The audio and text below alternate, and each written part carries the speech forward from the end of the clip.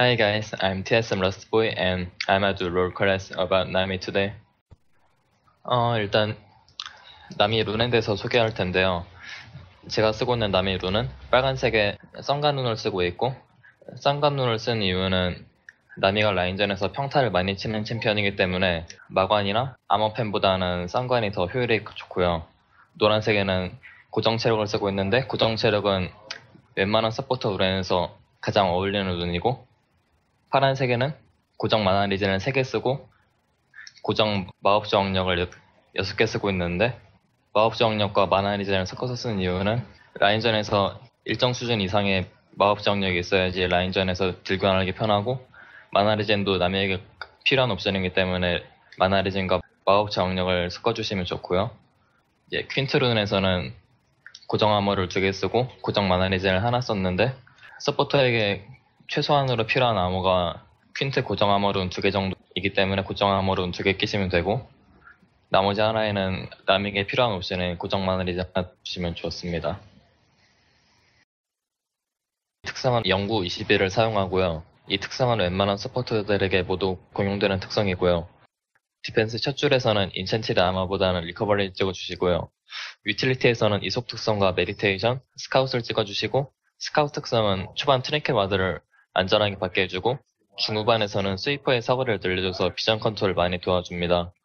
그리고 bandit 특성을 찍어주셔도 되는데 포인트가 모자랄 거예요.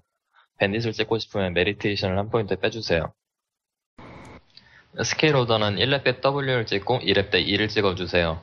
하지만 라인전에서 auto attack을 칠 기회가 적다면 Q를 대신 찍어도 됩니다. 3렙 때는 Q와 E 중 남는 skill을 찍어주세요. 마스터 순서는 W, E, Q 순서로 찍고 궁극기는 들 때마다 찍어주시면 됩니다. 시작템으로는 AP 서포터 돈템과 두 개의 health potion, 두 개의 mana potion, 아니면 세 개의 health potion, 아니면 하나의 mana potion을 사주시고요.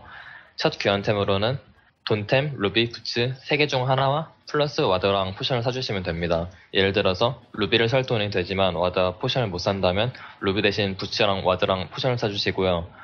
돈템을 업그레이드할 수 있지만 ward와 potion을 못 산다면 루비와 ward랑 potion을 사주세요.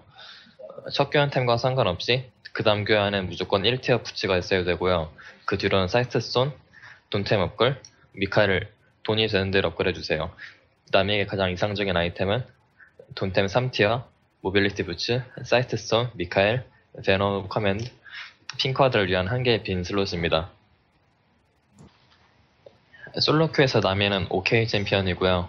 solo queue에서는 우리 조합보다는 상대 조합에 따라 나미의 가치가 많이 달라집니다. bubble의 미사일 속도가 빠르지 않고 피하기 쉽기 때문에 mobility가 좋은 assassin들 상대로 좋지 않습니다. 라인전에서 쉽게 주도권을 가져가기 때문에 갱킹에 노출되기 쉬운데요. 첫 갱킹을 피하면 초반 라인전에서 우리 원들이 많이 앞서기 때문에 그 뒤로는 게임을 풀기 되기 쉽습니다. 중후반에서는 높은 힐량과 유틸리티로 팀을 보조하시면 됩니다. 중후반에선 난이도가 쉬운 편이기 때문에 뒤에서 팀을 보조하시는 걸 좋아하시, 좋아하는 분들에게 많이 어울립니다. 라인전에선 bush를 이용해서 우리 원딜과 타이밍을 맞춰서 원딜이나 서포터 아무에게나 E를 쓰면서 상대방 원딜 위주로 평타를 쳐주시고요. 딜교환이 걸려서 상대가 우리에게 되받아 치면 W를 쓰고 빼주세요. bubble은 맞출 자신이 있다면 딜교환할 때 써도 되지만 웬만하면 세이브해두고 중요한 순간에 쓰는 게 좋습니다. 궁을 배운 다음에는 근접해서 R을 쓰고 에어번이 뜬 걸 보자마자 Q를 쓰면 확정 stun을 넣을 수 있습니다. 나미 라인전 기초는 먼저 평타 E로 딜교환을 걸고 내가 체력이 조금 빠졌을 때 W로 데미지를 더 넣으면서 내 체력을 채우고 상대가 딜교환에 지쳐서 빼려고 했을 때 bubble로 상대를 고정시키고 데미지를 더 넣거나 빼면 됩니다. team fight에서는 꽤 쉬운데요. 혹시 이 영상을 보시는 분이 탁구를 해보셨는지 모르겠지만 우리 팀 맨 뒤에 서서 상대방 bruiser 위치에 따라 움직이시면 됩니다. 탁구에서도 상대방 움직임에 따라서 상대가 왼쪽이면 공이 오른쪽으로 오기 때문에 난 오른쪽으로 움직이고 오른쪽으로 하면 왼쪽으로 움직이는데요.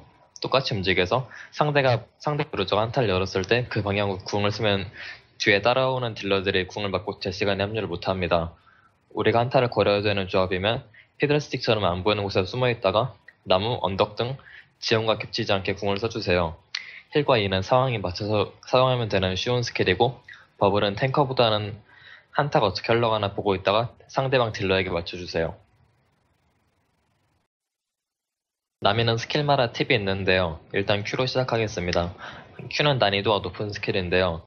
먼저 상대방의 E로 slow를 걸고 slow 상태에서 Q를 쓰면 좀 더 맞추기 쉽습니다. 그리고 smart cast보다는 일반 cast를 써서 범위를 정확하게 파악하고 서클 정중앙으로 맞추시길 권장합니다. W는 bounce가 되는 스킬인데요.